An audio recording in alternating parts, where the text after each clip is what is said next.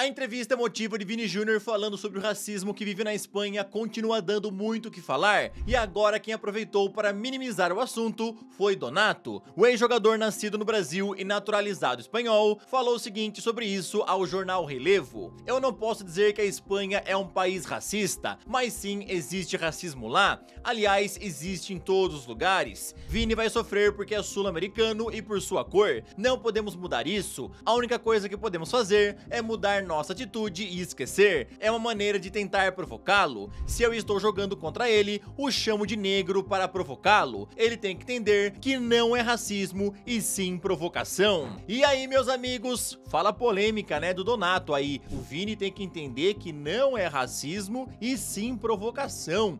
O que é que você pensa a respeito disso tudo, dessas falas do Donato, ex-jogador, né, brasileiro e naturalizado espanhol. Essa entrevista do Vini Júnior, né, rendeu muito assunto, muita gente minimizando que ele vive na Espanha, minimizando o sentimento do jogador, e só ele sabe o que vive, toda a luta que tem contra o racismo e o que ele sofre nas partidas, né? Sempre vai ter gente que vai tentar minimizar o que a gente sente, tá, galera? O importante é que o Vini Júnior se mantenha forte e se mantenha sempre lutando. Eu sou o Todd, seja muito bem-vindo para mais um vídeo aqui no canal, aonde eu vou te contar bastante coisa interessante. Bora ver como é que foram os jogos ontem do Campeonato Paulista, teve Copa Verde, teve Copa do Nordeste. Vou te falar sobre Victor Guioqueires, que é a sensação do Campeonato Português e já está na mira de times da Premier League. Bora falar sobre Messi, que foi questionado sobre quando vai se aposentar. Vou te contar tudo isso e muito mais. Então, sem mais enrolações, solta a intro!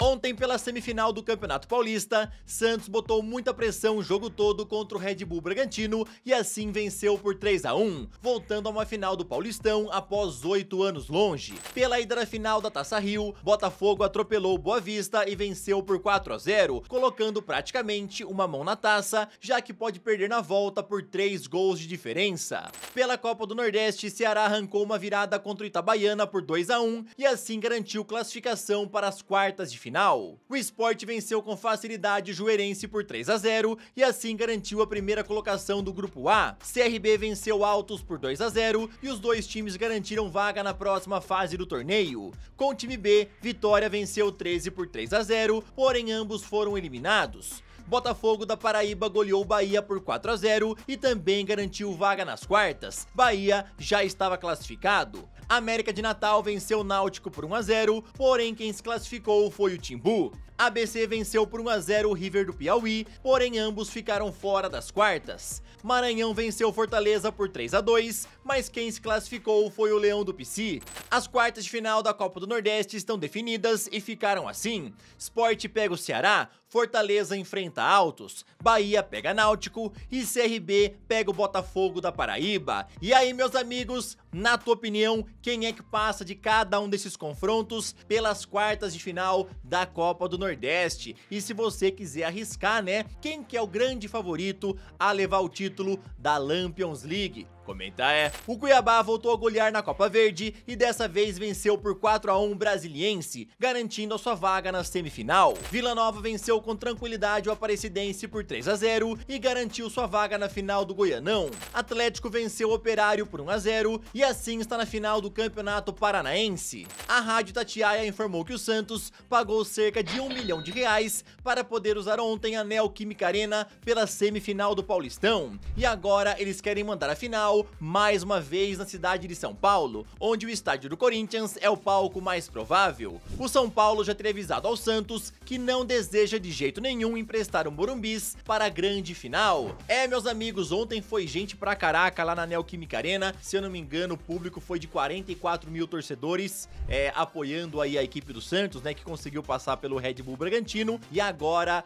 a tendência, né, é que a final, o mando da final do Santos seja mais uma vez na Neoquímica Arena. Vamos ver se o Corinthians vai cobrar mais uma vez, né, um milhão de reais ou se vai ser um pouquinho mais caro por ser a final. Gabigol não pode treinar no CT do Flamengo por conta da punição que pegou por ter fraudado o exame antidoping. E então ele está treinando em sua casa lá na Barra da Tijuca. Foi que informou o jornalista Diogo Dantas do portal GE. Zico até chegou oferecer o seu CT para o atacante, mas ele prefere treinar em casa, já que tem mais privacidade, e continuará fazendo isso enquanto aguarda o julgamento do recurso. A CBF ficou maluca pela falta de VAR no jogo contra a seleção espanhola, portanto a entidade já teria decidido internamente que a seleção brasileira não vai mais entrar em campo sem VAR. Inclusive o presidente Edinaldo Rodrigues irá levar esse tema para a FIFA. A ideia de não ter VAR nesse jogo, de acordo com Edinaldo Rodrigues, foi uma decisão da Federação Espanhola e também da UEFA, tá? A gente viu no que deu. Dois pênaltis muito duvidosos para a seleção da Espanha e se tivesse VAR, com certeza o placar teria sido diferente. Agora, rapidão, queria te pedir aquela moral, deixa o like no vídeo, se inscreve no canal e também ativa o sininho. Aqui sempre tem vídeos novos pra te deixar muito bem antenado em relação a esse esporte tão maravilhoso e amado por todos nós. Olivier Giroud deve se tornar o próximo grande nome do futebol a ir para a MLS e lá ele vai defender a camisa do Los Angeles FC. Ontem Fabrício Romano informou que as partes chegaram num acordo verbal sobre os termos do contrato que vai até dezembro de 2025 e em breve o time norte-americano deve oficializar isso. Então Giroud vai se tornar jogador do Los Angeles FC a partir do dia 1 de julho e vai chegar totalmente gratuito, já que ele está em fim de contrato com o Milan. Ele tinha comentado, né, algumas semanas atrás, que a ideia era renovar contrato com os Rossoneri e quem sabe ficar lá até se aposentar. Porém, aparentemente não é isso que vai acontecer, né? De acordo com o Romano, já tá tudo certo para ele ser jogador lá do Los Angeles FC. O Bayer Leverkusen vem cantando a todos todos com seu belo futebol nessa temporada, e inclusive além da alemã Lothar Matthaus, os comparou com Barcelona ao falar o seguinte, o futebol, a velocidade, a tranquilidade com a bola é simplesmente divertido, poderia falar do Bayer Leverkusen durante meia hora, me lembro Barcelona de Iniesta, Xavi e Messi, para mim esse é o Leverkusen. Lionel Messi hoje em dia está com 36 anos e ele descartou que levará a idade como fator para pendurar as chuteiras. Em entrevista ao Big Time, ele foi questionado sobre aposentadoria e respondeu o seguinte: No momento que sentir que não estiver rendendo, que não desfrutar, nem estiver ajudando meus companheiros, deixarei o futebol. Quando sentir que é o momento para dar esse passo, darei sem pensar na idade. Se me sentir bem, tentarei sempre seguir competindo, porque é o que eu gosto e sei fazer. Não não tenho nada claro, espero seguir jogando por um tempo mais. Messi também comentou em outro trecho que uma das coisas que o motivou a jogar mais futebol foi ter sido campeão do mundo em 2022. O Messi é garantido né, na Copa América do meio do ano, o próprio Lionel Scaloni já falou nos últimos dias que Messi e Di Maria são os dois nomes 100% garantidos na convocatória, né? E só que em relação à Copa do Mundo de 2026, o Messi ainda deixa um pouco em dúvida. É, só deveríamos ter uma confirmação em relação relação a isso mais perto de 2026, tá? Nesse momento, o argentino evita cravar que vai jogar essa próxima Copa. Porém, né, nós amantes do futebol desejamos que Messi e Cristiano Ronaldo disputem uma última Copa do Mundo em 2026 e eu torço muito para que ambos estejam em campo, tá? Eu acho que você, como amante do futebol, também quer ver isso.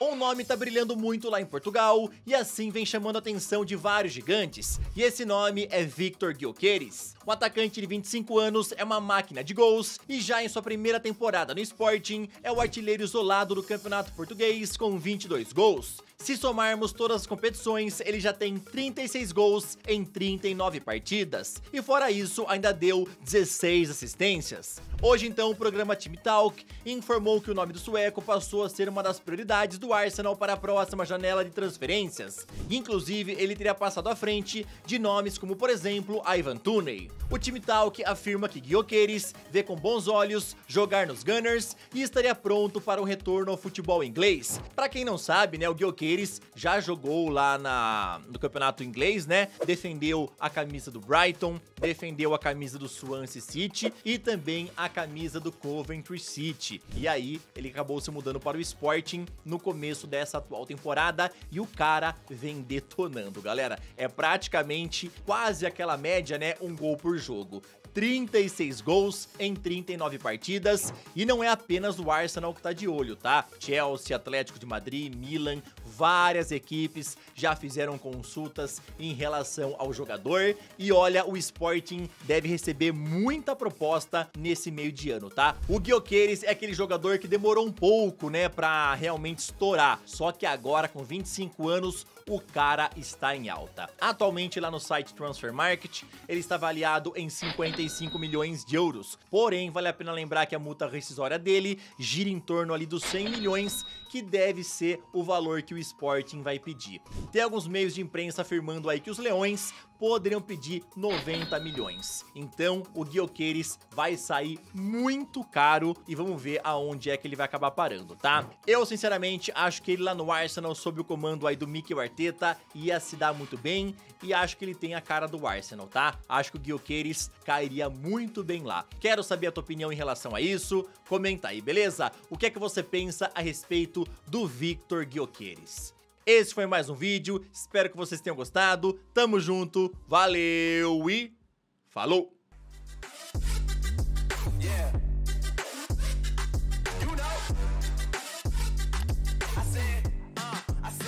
it's gonna be a long night.